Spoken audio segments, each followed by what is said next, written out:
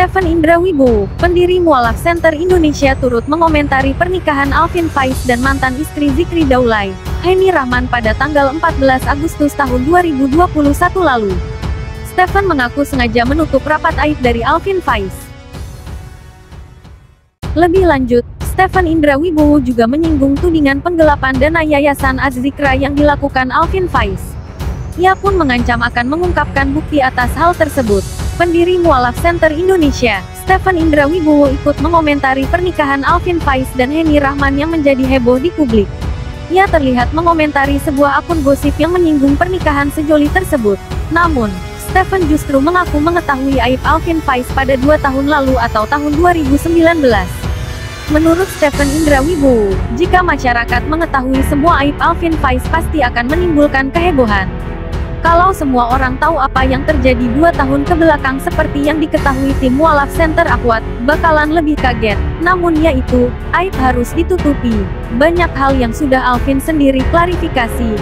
Ungkap Stephen Indra Wibowo melalui etmak garis bawah info, dilansir pada Rabu, tanggal 18 Agustus tahun 2021.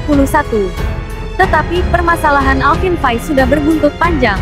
Mulai dari perceraian dengan Larissa Chow, isu perselingkuhan, menikah lagi dengan Heni Rahman, hingga yang terbaru tuduhan penggelapan dana umat untuk berfoya-foya ke hotel ternama. Namun, polemiknya sudah bulet ke mana-mana. Ya sudah kami awasi dari jauh, dan jika memang sampai ke urusan umat, maka akan kami buka ke masyarakat sebagai tahzier umum, sambungnya melalui Instagram pribadinya @stephen.indra.wibowo. Ia memperlihatkan beberapa direct messages DM orang-orang yang merasa ada penggelapan dana di Yayasan Azikra. Bahkan, ada yang mengklaim mengetahui kebohongan Alvin Faiz luar dan dalam. Apa yang saya katakan di sosmed TTG 2 tahun lalu adalah tentang Azikra. Jadi, untuk pengikut setia Alvin, jangan sampai taklid kepada makhluk, tunduk hanya pada Allah.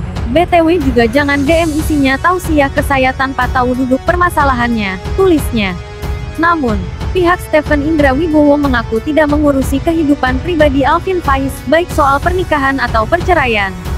Steve pun berharap agar Alvin siap jika aib atau bukti-bukti soal sikapnya dibongkar ke publik. Apalagi, jika Alvin Faiz telah menaruh urusan pribadinya di media sosial. Stephen merasa mantan suami Larissa Chow itu telah siap. Dan sampai saatnya tiba akan dijadikan pembuktian terbalik. Ana harap antum siap ya, bukan aib yang dibuka. Namun demi menghindari fitnah dan satu pesan sederhana saya buat Alvin. Saat urusan pribadi sudah antum taruh di sosmed, berarti sudah siap urusan privasi antum menjadi konsumsi publik. So, santai saja seharusnya. Pesan Stephen Indra Wibowo kepada Alvin Faiz.